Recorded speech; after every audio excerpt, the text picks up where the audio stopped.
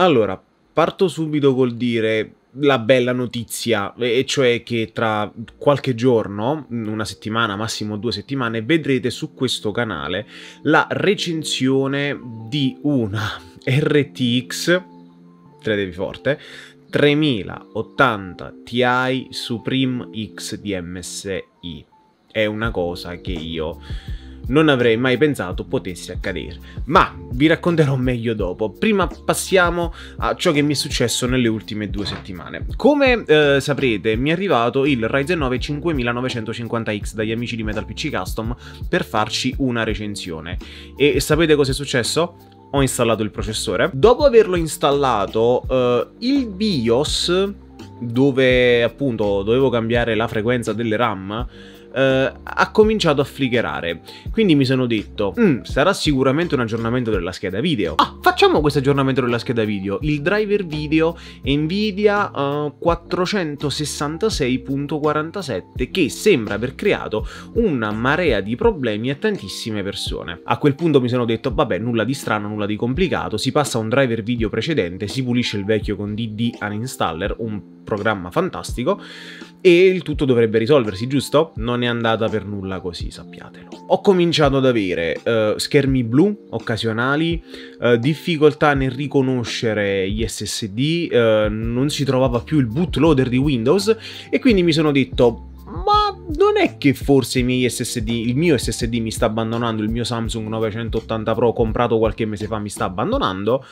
Ho deciso quindi di fare un'installazione pulita su un altro SSD del sistema operativo e i problemi sono, beh, tornati più forti di prima. Fino a che un giorno non mi è venuta la malsana idea di andare a vedere una cosa sul um, forum ufficiale di Nvidia e c'era un utente con i miei stessi problemi e ha detto io ho provato a cambiare un pochettino l'ordine dei banchi di RAM e i più attenti di voi avranno già visto che qui ci sono tre banchi di RAM, non quattro. Il quarto è qui. E quindi cosa ho fatto? Ho provato a testare ogni singolo banco di RAM in ogni singolo slot della scheda madre e una volta messa qualsiasi banco di RAM nello slot 1, quindi quello più vicino alla CPU, il sistema ributtava 4-5 volte. Cosa succede? Cosa significa questo? Significa che c'è un problema con gli slot eh, delle RAM della mia scheda madre. Adesso, prima che si cominci a vociferare male, eh, raga, questa è una scheda madre top di gamma, stiamo parlando di una X570 di MSI, eh, la Prestige Creation, una scheda madre fantastica per quello che eh, deve fare, una scheda madre per i content creator con una marea di porte USB, ottime fasi di alimentazione, connettività assurde, però molte volte si capita in quella casistica che colpisce circa una persona su 50.000, 70.000 e cioè purtroppo delle componenti che eh, sono buone ma messe sotto sforzo, in questo caso il cambio di un processore perché i Ryzen 5000 eh, come i Ryzen 3000 hanno il controller delle RAM direttamente sul chip e non sulla scheda madre, evidentemente andando a cambiare da un processore a 16 core della serie 3000 a un processore a 16 core della serie 5000 c'è stato un overvolting di qualcosa, non ne ho idea di cosa sia successo, praticamente ci sarà bruciata qualche traccia all'interno dello mm, slot della RAM. Ecco, è una cosa sfortunata, sì. Capita spesso, sì, su schede madri MSI, eh, dipende, sulle vecchie capitava più spesso, sulle nuove capita di meno, ma comunque capita.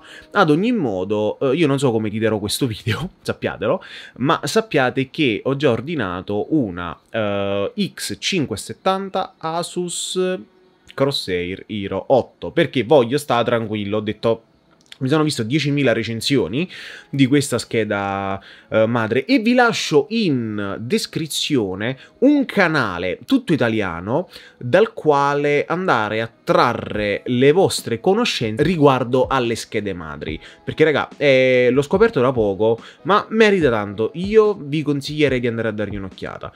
Ma vi ricordo che se voi avete voglia di cambiare i vostri componenti, vi lascio allo sponsor di oggi, cioè gli amici di Metal PC Custom random. Il tutto dura 45 secondi e se volete potete skipparlo, ma io come sempre vi consiglio di non farlo. Metal PC Custom è lo store tutto italiano a cui rivolgervi per il vostro prossimo PC con un'ampia scelta di schede madri, processori, schede video, RAM e chi più ne ha più ne metta, è uno dei negozi più forniti e con il servizio assistenza migliore che abbia mai trovato. Infatti tutto lo staff è disponibilissimo, simpaticissimo e soprattutto preparatissimo. Sia che siate neofiti, sia che siate professionisti, per quanto riguarda il mondo dei PC, sarete seguiti dall'inizio alla fine del processo d'acquisto e soprattutto riceverete assistenza successiva alternativa all'acquisto se mai doveste avere qualche problema. Metal PC Custom, tutti i link sono in descrizione e ricordate di dire che vi manda il punto di G.